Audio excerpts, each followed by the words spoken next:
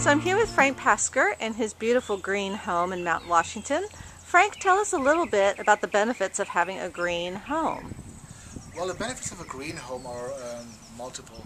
Number one, you create a healthy living environment. We spend about 80% um, of our life inside, so you want to have a place that is healthy for you.